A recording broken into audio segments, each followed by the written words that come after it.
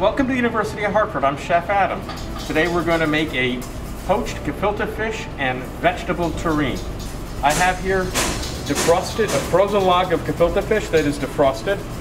I'm going to lay it out on a piece of plastic and foil to be flat with water to keep my hands from sticking to the fish. Then we're going to place some assorted vegetables. I have sweet potato, green bean, scallion, and red pepper that I'll be putting in this today. Gently, I'm going to roll the gefilte fish around the vegetable, tucking it in, and removing the plastic so that when I'm done, the fish is a, a whole piece, without the plastic inside, obviously.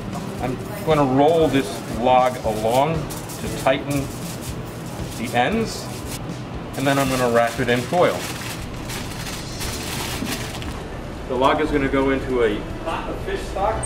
It's got peppercorns, bay leaf, carrots, onions, and celery. And it's going to cook for about an hour.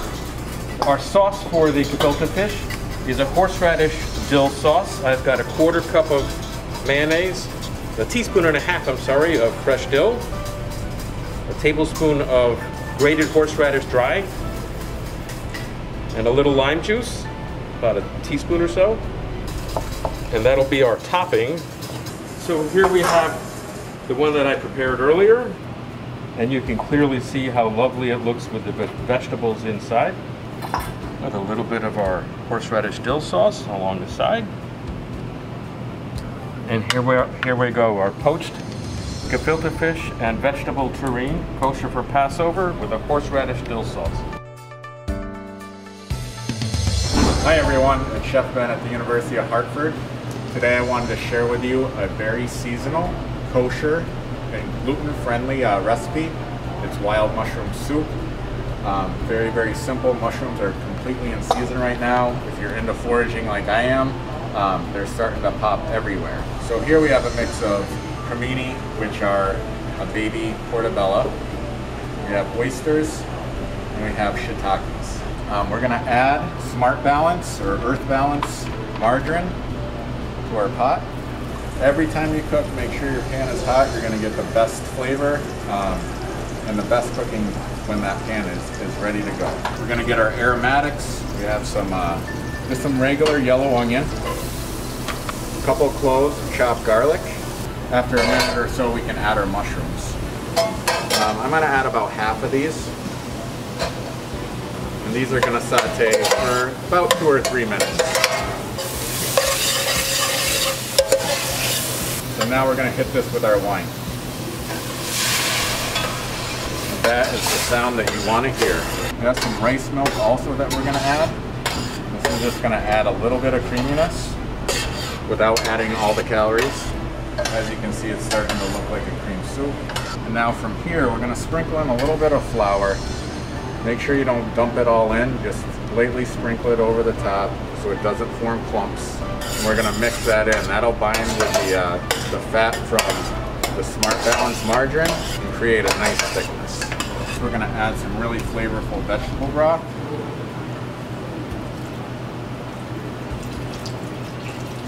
Say a couple cups, this is a quart, so about half. And then the secret ingredient in this whole thing is my favorite herb, fresh thyme, um, really adds that really nice herbaceous flowery flavor to your to your soups. Salt and pepper.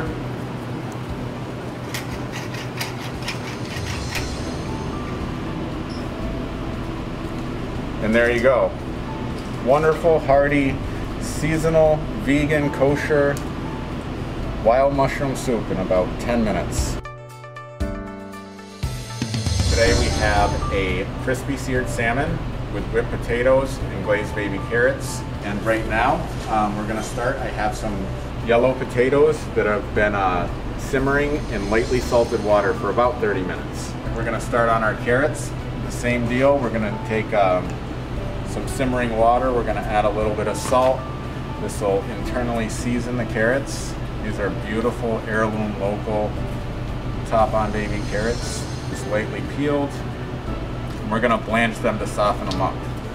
so these are gonna blanch for about five minutes. While that's going on, we're going to make our sauce. It's gonna be a chermoula sauce, which is a North African sauce. It's a, it's a condiment that's used very, very frequently in their cuisine. And it's basically everything blended together for this amazing flavor. Um, and this will get smooth right over the salmon.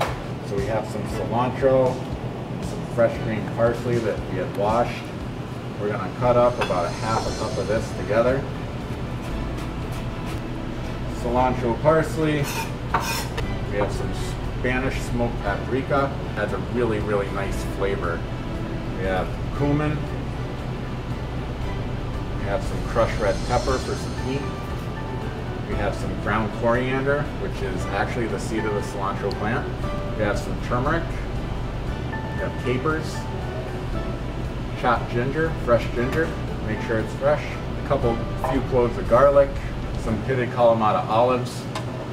About three ounces of chopped onion. We have some water to thin out the mixture a little bit. We're gonna do the juice of two lemons. Hold your hand under the lemon when you squeeze. The seeds are really bitter. You don't want those going into your dish. We're gonna start blending this.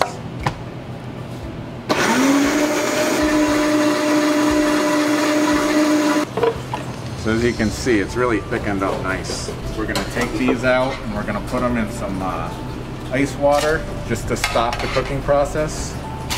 We wanna be able to control the cooking process, so that's why we're stopping it right now. Sharp knife right through the middle of the thickest potato. If it slides in easily in and out, you are good to go. All right, so our potatoes are drained and they're in our mixing bowl. We're gonna add some uh, Smart Balance vegan margarine. We're gonna add a little bit of rice milk, some kosher salt, always freshly ground black pepper. All right, so as soon as you see those lumps beat away, we will call this good. All right, so we just made our potatoes. Our carrots here have chilled properly. We're just gonna put those into a separate vessel to drain and get some of that water and ice off. So here we have a nice farm raised Atlantic salmon. This is about a 14 ounce piece. As you notice, the skin is on. It's been descaled. We're gonna trim a little bit of the fat off of this belly. And we're gonna make two equal pieces. They're about seven ounces a piece.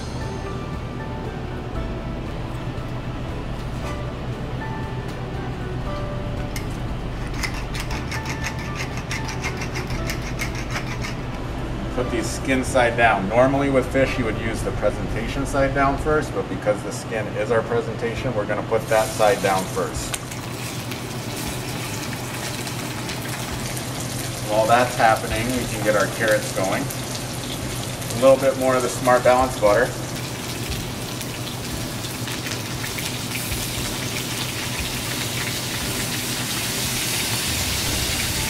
All right, so these are gonna start to brown. They're gonna absorb some of that flavor, the margarine. We're gonna season it lightly. We already boiled them in some salted water, but we're gonna add a little bit more. Nice freshly ground black pepper. While we're doing that, we'll season this side of the salmon. But today we're gonna use agave nectar, which is really, really great and healthy. Very low glycemic. We're gonna add our agave syrup.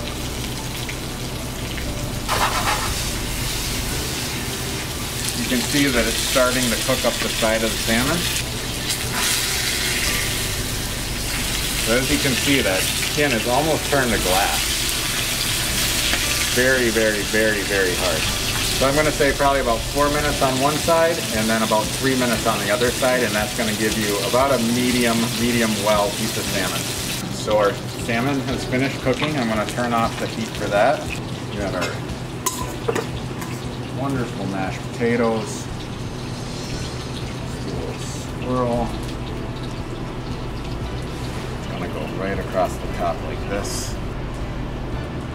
Just cut scallions to add some freshness. And there you go. Crispy skin salmon, chermoula sauce, glazed baby carrots, and whipped potatoes. Today I'll be making macaroons with a secret ingredient. We're using charoset in our macaroons today. So we're gonna start with a cup of egg whites and two cups of sugar and whip it up to start our macaroons. When this gets hot enough, we're gonna bring this all together. When our egg whites and sugar come up to temperature, we're gonna transfer them to the mixing machine to get these egg whites nice and fluffy. Whisk them for about five minutes.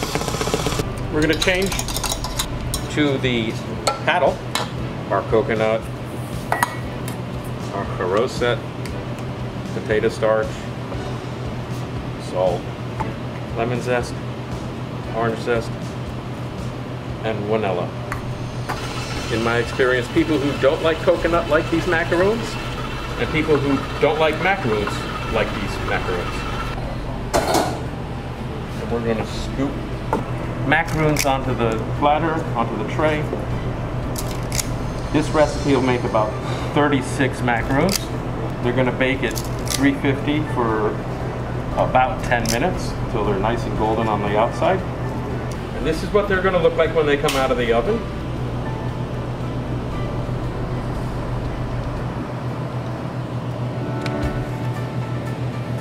Here you go with your chocolate dipped charoset macaroon. Thank you for watching. Stay tuned for other videos coming out on UHart Dining.